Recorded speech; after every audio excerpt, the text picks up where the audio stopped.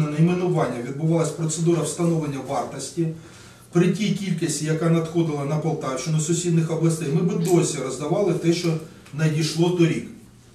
Область забезпечувала належне зберігання. По-перше, усі вантажі в повній комплектації доставлялися до складів.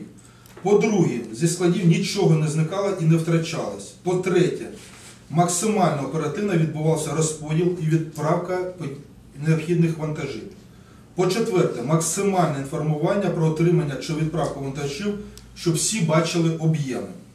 Полтавська обласна військова адміністрація максимально сприяла, щоб депутати отримали максимальну кількість документів інформації. І не тільки депутати. Звітність щодо надходження гуманітарної допомоги, її розподілу та видачі надавалась усім донорам без виключення. Полтавська обласна військова адміністрація максимально відкрита в цьому питанні. Просимо не спекулювати на цій темі. Спроба інтерпретувати інформацію, зманіпулювати нею нині вже поширюється в російських е, ЗМІ, телеграм-каналах, які розганяють зраду. Долучають деякі політики, які не знайшли часу до кінця, навіть не дочитали висновки комісії.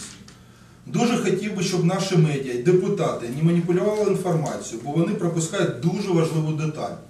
Основну деталь розбіжності, різниці між прийнятою і виданою допомогою за висновками ревізії Держаудитслужби не зафіксовано. Я підкреслюю, не зафіксовано.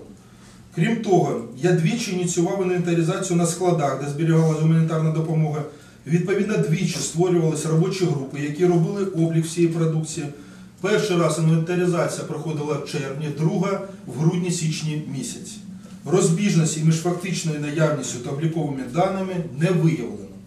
Продовжуємо займатися гуманітарними питаннями, відточуємо механізм отримання надання гуманітарної допомоги, вдячні нашим партнерам, міжнародним, всеукраїнським організаціям, фондам, відповідальному бізнесу за постійну підтримку.